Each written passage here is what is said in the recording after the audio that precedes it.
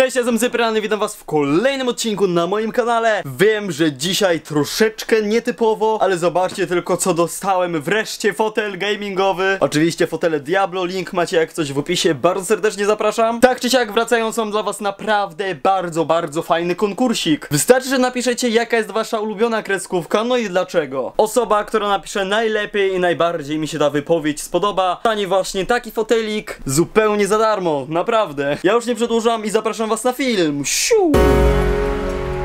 Cześć, ja jestem Cyprian. Może wiecie, może nie, ale w niesamowitym świecie Gambola pojawiało się wiele, wiele internetowych memów. Były to oczywiście fantastyczne nawiązania przedstawione w ciekawy sposób. A więc zapnijcie pasy, bo dzisiaj witam was odcinku, w którym zaprezentuję kilka takich fajnych easter eggów. Dziękuję też za wszystkie łapki w górę i suby, które zostawiacie na moim kanale. Zaczynajmy! Na pierwszym miejscu Alan i jego twarz Jaranajka. Mam nadzieję, że dobrze to wymówiłem, jeżeli nie, to mnie poprawcie proszę. Jest to jeden z popularnych memów, który stosuje się, żeby zamienić komuś wyraz twarzy. Ojejcie, wygląda to śmiesznie i ogólnie fajnie. Scena pojawiła się w odcinku zdjęcie, no i co? Bardzo ciekawe nawiązanie i zrobione w naprawdę, naprawdę fajny sposób. Poza tym zauważyliście, że Alan to chyba jedna z najlepszych postaci Gambola? Jak można go nie lubić? Okej, wielu z was poprzedniego mema mogło nie znać, jednak pewnie zupełnie inaczej jest z Dolanym Dakiem, o ile to mogę tak odmienić. W jednym z odcinków z orkiestrą mieliśmy okazję zobaczyć Dolana jako postać w Gambolu. Odgrywał rolę jakiejś maskotki,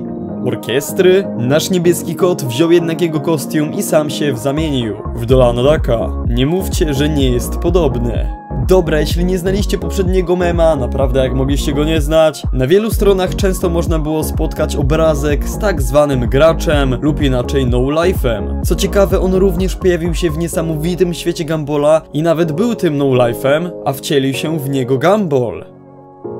I ostatni w dzisiejszym odcinku, czyli Pepe the Frog, może bardziej znany pod pseudonimem Żaba Pepe. Jego popularność zwiększyła się wraz z wyborami Donalda Trumpa na prezydenta Stanów Zjednoczonych. Przeróbek z nim wtedy było na pęczki, ale tak czy jak w Gambolu również mogliśmy go znaleźć. Sama twarz wygląda zupełnie jak ten nauczyciel. No i co? Kolejne ciekawe nawiązanie ze strony twórców niesamowitego świata Gambola. Jeżeli chcielibyście, żeby kolejny odcinek pojawił się jutro, to zachęcam was do zostawienia łapki w górę oprzecie też moje inne filmy, mam nadzieję, że one was zainteresują. Tak czy jak ja się z wami żegnam, do jutra, miłego wieczoru, dnia, nocy, zależy kiedy to oglądacie, no i cześć!